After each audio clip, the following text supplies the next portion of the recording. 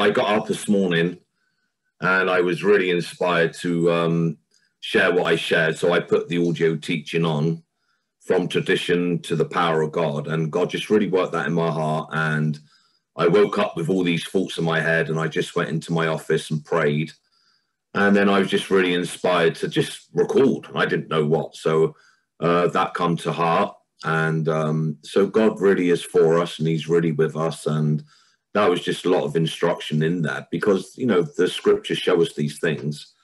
And when we walk with God and put them to practice, then we really benefit from it. And God wants us benefited. He really has blessed us. He's blessed all of us. And, you know, it, and the gospel, the gospel, which is the good news, and the grace of God are same words, really you know, like it's good news. It's the grace of God. God does the work. It's His unmerited divine favor for us that He really wants to do for us. And He's provided everything for us in Christ, and He wants us to really manifest every spiritual blessing. he wants us. He wants us to evidence that in our life. So, you know, He's positioned us already at the right hand side of God in Christ Jesus. But it's where we position ourselves in our heart and mind. And that's just so important. And I really love reading the Psalms. You know, I like reading them, meditating upon them. I like seeing David's heart, his heart towards God, the situations he went through. And he had challenges, and we all have challenges at times, not that we focus our minds on the challenges. So we got to remember that even if things come up, they're under our feet. And, you know, Satan is a defeated foe. And it's not that we want to give glory to him, but we live life and we're in this world. Uh, but we're not of this world. We're passing through. And God has equipped us to come through any challenges, any situations, any storms. And it's again where we position our mind and what we say with our mouth. You know, your tongue is the rudder of your life, and it can set and course the things of God or the things of this world.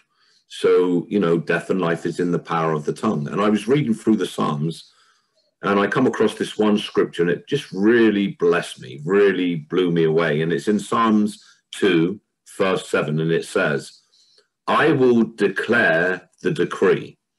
The Lord hath said unto me, Thou art my son, this day have I begotten thee. And the first part of that, you know, he's saying, I will declare the decree. In other words, what God has said about him, that's what he was going to declare. And that's what we need to declare from our mouth, what God has said about us. If you go to Ephesians 1 3, it says, God has blessed us with all spiritual blessings. God has spoken. This word is eulogia, and it means good words. God has spoken good words over and into our life. It's already done. So now we declare that decree of what God has said about us that we are righteous, we are justified, we are sanctified. We're redeemed. We are the righteousness of God in Christ Jesus. We are seated at the right hand side in the heavenly places. Okay, we have direct access to God. You know, we're free from condemnation. You know, we are healed. We are healthy. We are provided for. We're having a great journey through life because our minds is set on the things above, not on the things of this earth. So, regardless of things that niggle us or try to distract us, these things that are going on is a spiritual warfare, again, which Satan has lost, and we got to remember this. So, it's just trying, it's an illusion to try and distract you away from your rest in God, because really it's God that does the work. And when we're in faith, then God is working. When we're resting, trusting Him, relying upon Him, like it says in Proverbs chapter 3, verses 5 and 6 trust in the Lord with all your heart, all your mind, will, and emotions. Trust in the Lord with all your heart. Lean not to your own understanding, your own reasoning, but in all your ways acknowledge Him, and He shall direct your path. He'll show you the shortcuts, the landmines. He'll show you navigate you around those things. He'll give you the answers, the solutions He'll give you the direction that you to, you're to take. He'll give you the words also to speak.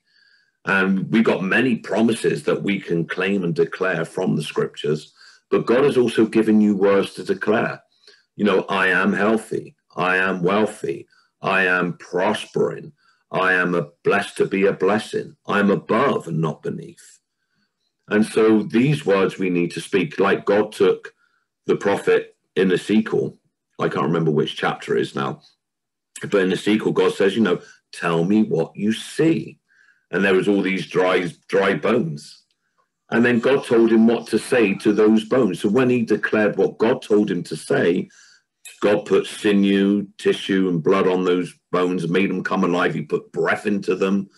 And so when we are listening to God, when God tells us to say something, to do something, to call someone, to minister to someone, when we do what God says, when we're led by that spirit, then we're going to see great open doors. We're going to see signs, miracles, and wonders following us because we believe, because we're being led by God, because we're putting into practice everything that God made available through the Lord Jesus Christ. And so God does the work. Like he does exceedingly abundantly above all that you can ask or think of him. So if you're in a situation, a dilemma, an awkward problem or whatever, you know, you just give that to God. You say what you want to happen in that situation. You declare, you use your authority, your words are your authority, and it's been given the okay by God. Say what you want. I've given you the authority. I've given you the power. I am working in you both to will and to do of my good pleasure. So when we are faced with different situations, and I know lots of people have been faced with them, I speak to many people, then this is why I'm talking this way as God is inspiring me, is that we don't let those things get into our emotions. We don't let it affect our faith in God and what he can do. We don't say, why me? We got an enemy and he's a defeated one. We wrestle not against flesh and blood, but against principalities, powers, mights, and dominions, right? We that's what we wrestle against. But again, these are under our feet. We need to recognize where that is coming from. But we know that when we're with God, that we have the victory. We are more than super conquerors. That's why God put that in the scriptures. You know, you're more than a conqueror. If you're not being defeated or challenged, how are you going to conquer anything? Right? We are seated at the right hand side of God, but things do come up, but you are more than a conqueror. If you're in over your or getting in over your head in a situation you can't see a way out, God says that He will cause you to triumph in Christ Jesus. So, like, a triumph is more than a victory, it's a great victory. Know, really triumph. And so when I think of like records like Second Chronicles with Jehoshaphat, when all those armies come against, and you know, they realized that the battle was the Lord's, it wasn't their battle. So when we put the things in God's hand, when we take God literally at his word and his words, then he can go to work because, like someone said, he's a faith God. You know, nothing pleases God other than our faith in him, our trust in him, our confidence in him that what he says he's going to do, he's going to do. So God really wants you to be at rest. He wants you to be at peace. He doesn't want you to try and figure anything out. But what he does want you to do is what he puts in your heart to do. Because he's continually working in you both to will and to do of his good pleasure. And in the meantime, when you don't know what to do, you carry on speaking in tongues. You carry on praying for those laborers. You cast all your burdens to God, and He has sustained you when you're going through those situations. And you know, you know, you got the victory. You know, you can't maybe not see it in the physical, but in the spiritual, you see it because God says that you're more than a conqueror. He's got the answers, He's got the solution.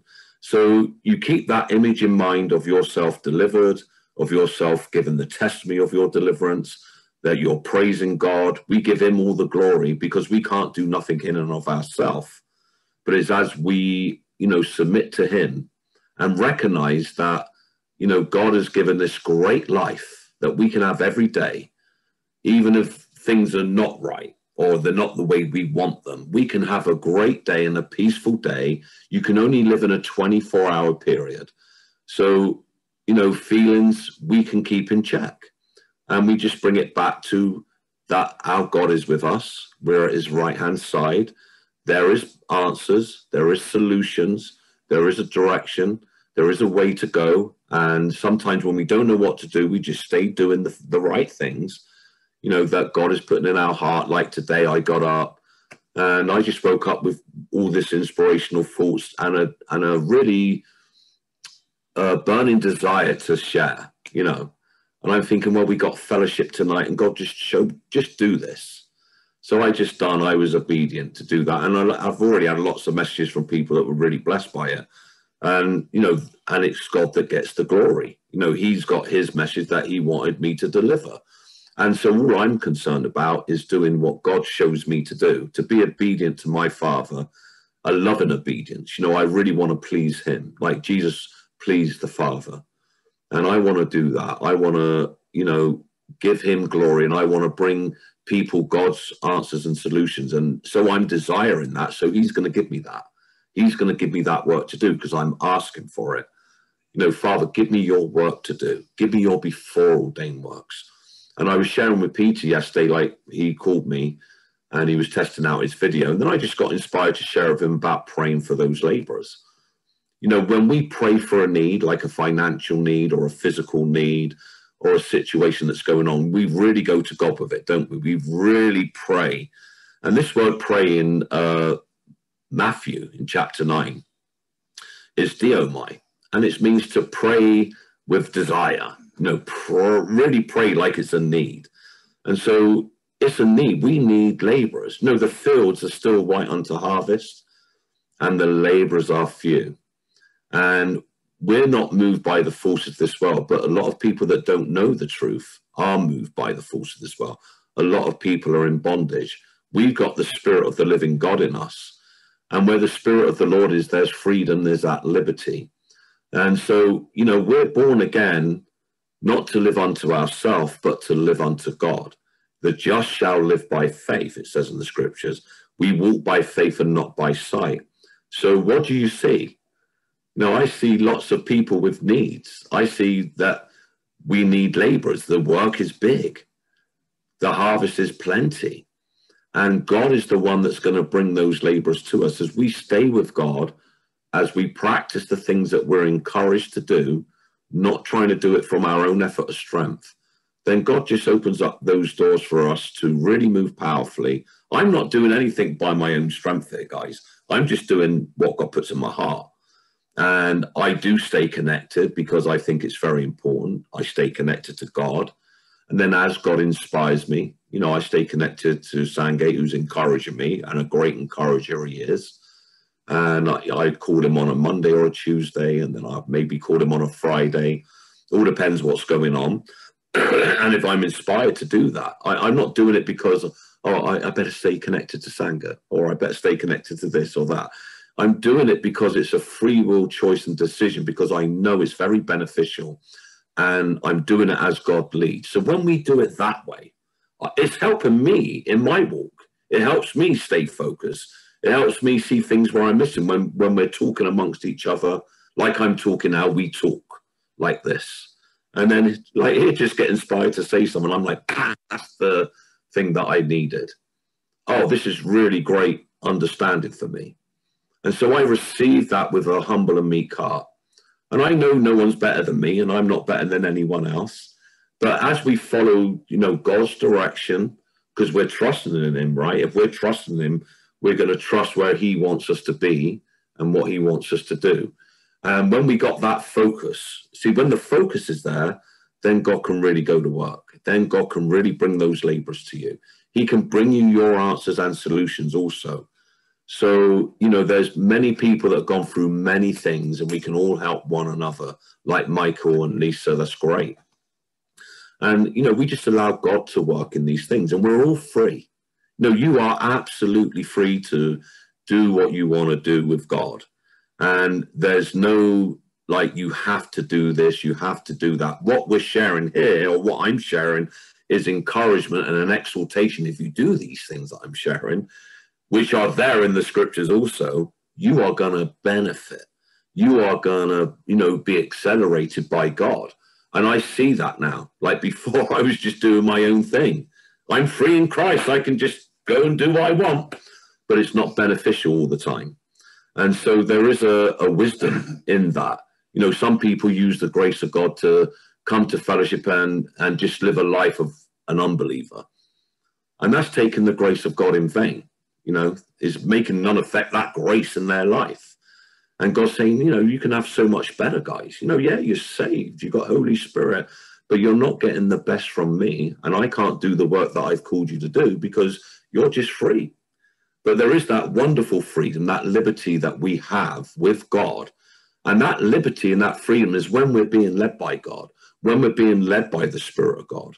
That's the real freedom because that's where the power, his power, is manifested through us to affect the world around us and the people in it. And so there's many people waiting for you. And if we're just free flitting around, you know, I'm not having a go at anyone here. I'm just pointing these things out. It's my job.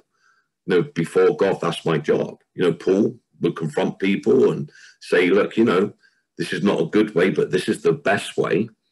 So we, you know, there's good and there's best. Devil wants you to have good, but God wants you to have the best because you are God's best and He's spoken the best and He's provided the best. So we should expect nothing but the best. And, you know, we're, we're sons and daughters of the Most High God. And He's with us and He loves us deeply. He loves us deep. He cares about every detail of your life. But He's saying, guys, look, come to me. Just do what I'm encouraging you to do if you really want to see my power manifest in your life, if you want to see that healing, that deliverance of your life, just come to me. Just give me your desires. Just do what I'm encouraging you to do because I know what's beneficial for you. I can see ahead of you and I can see to the left of you and to the right of you. And I can make that way where you don't have to get into a dead end road, you know, but you can keep moving on that highway of holiness with me where no ravenous beast can come upon, like it says in Isaiah. You know, so God is really with us. He wants us to stay with him. To stay with God is to rest in him and to continue to do the things that you know is making it beneficial for you. And he wants you to be fruitful. He wants you to have fruit and that your fruit remains. And but it's down to each individual to do what God is putting in their heart. We all have to make a decision somewhere along the line in our walk. You know, you know in your heart if you're really bumping with God, if you're really doing what He's showing, because you'll just know you've got that Holy Spirit in you, and God can tell you. You know, so when we just submit to Him and do what He's show, showing, and trust Him in that, that's the trusting. Okay, you can't see everything that He can see, but He can see the things that you need. So when we just trust Him okay, God, I'm doing this because I trust you. I can't see where this is all going, but I trust you. And I've had to do this in my walk. Seriously, there was times I thought, yeah, I'm free. I can do what I want. But there's, we do have that freedom and that choice always. But we want to do what's beneficial. If you really want to see the word of God flourish in your life, you want to see people come from darkness to light. That's what we should all be about, by the way, because we all got that word and ministry of reconciliation. Then we just need to go to God and say, Father, just show me, just direct me, and help me to be fed what I need to be fed so that I can flourish and grow. And help me get that sound doctrine. That's those right words, those good words that will help me to uh, see you go to work in my life, that you're actually doing the work, that it's not actually any of my knowledge or my understanding, but it's my submission to you. And so I'm learning to do this day by day. And, you know, the more I'm doing this, the more I realize there's not really a lot I'm doing apart from doing what God gives me every day to do. And like Sandgate done a sharing called, you know, Step Forward with God and I was sharing with Sangha, I said, yeah, and God put it in my heart that we can step back out of the way of God and then step forward as he leads us by his spirit. So let's let's let God do the work in your life. Go to him with all your heart. You know, give him your desire. Pray for those laborers, you know, pray for the things and the needs in your life because God has already met them. He wants you to manifest it. So you go to him Ask Him for the direction, ask Him for the solutions and the answers. And He's giving you that Spirit of God, which is the power of God to overcome anything that will stop you from being who He's called you to be. It really is, is that power of God will, when we're tuned with God, when we're focused, when we're determined to do what God says, then we can overcome any problem, any situation. And uh, we can really manifest and speak his testimonies forward of what he's doing in our life. And God is working in each and every one of you. And he loves you. You're dear to his heart. He knows all your circumstances. He knows what troubles you. And he knows how to get rid of that trouble. And he's saying, You come to me you cast those cares to me. And, you know, then he'll also lead you to people to minister and to encourage. You know, sometimes you might be in attack spiritually, you don't even know it. But when you're going to someone that's walking by the Spirit of God, they can discern and they can get rid of things because they got the Spirit of God in them. You know, we got this Holy Spirit, guys, and we're to exercise our spiritual senses to discern between good and evil and to know when spirits are operating and to cast them out because devils are under our feet. They are totally under our feet, like Satan is under your feet. So, you know, there's nothing new under the sun. This pandemic and trying to lock Israel down now, they've locked New York down. Listen, there's nothing new under the sun. But we got to stand our ground and stand on who we are in Christ and we got to start declaring and saying what we want to happen. We ask God, you give me those words. You give me the vision of how you want this to be and how it should be. And, you know, I'm not coming under Satan's bondage because he's got no jurisdiction. So whatever these people in the world are doing, I'm not under that. If God can use Moses to deliver a whole nation, then God can use you to do the same in your area and your country. This is we got to expect big. God wants you to see big and expect big and talk big. And so we call it and then it becomes. So, yeah, let's decree the decree. What God has declared about you, you declare from your mouth. You change your situation. It's time to stop letting our situations dictate our emotions and you know where we are with God. You know, God doesn't want us to be up and down. He wants us to be stable. And when we're trusting in Him, we'll have that peace and that joy in believing because we're believing, right? Believing is what?